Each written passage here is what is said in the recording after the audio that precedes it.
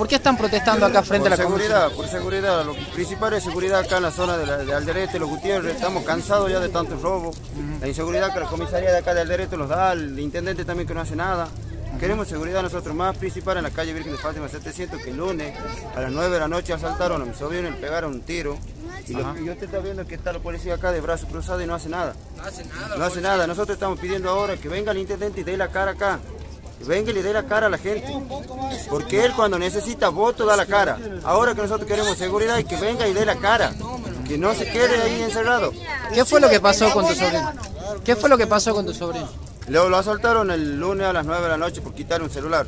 Ajá. Le pegaron un coletazo en la frente y encima tiene un tiro que le, le ha perforado el pulmón y el riñón.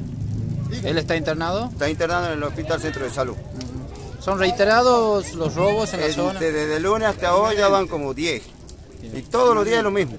Es todo lo mismo. ¿Y por qué vienen a la comisaría?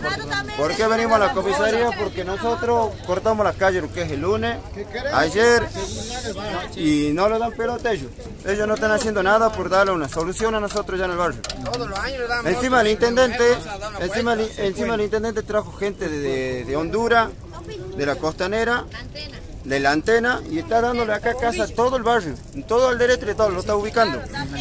Está perjudicando a todo la- toda la zona del derecho y Gutiérrez, con esa gente. ¿Y qué dicen las autoridades de la comisaría o el intendente? Nada, no dan soluciones.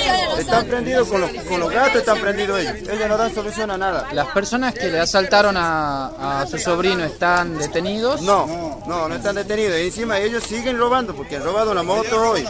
Ayer en, en la misma casa, en la misma cuadra de la casa, nosotros robaron un celular a una chiquita también que venía del colegio. Siguen robando. Y ellos están sabiendo que ellos siguen robando con la misma moto. ¿Ustedes saben quiénes fueron? Se lo ve, mi, mi sobrino dice que sabe. Pero no sé si le habrá dado la descripción ya a ellos. ¿Y tomaron, hicieron la denuncia ustedes? Está hecha la denuncia, todo, pero no, no- ellos están ahí, como te digo, de brazo cruzado.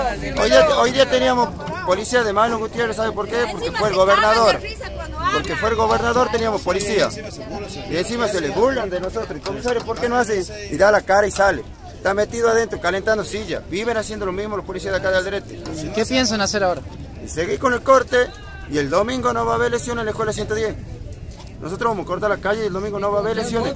Ah, ¿Ustedes piensan parar las elecciones si es que... Para las elecciones porque no va a haber.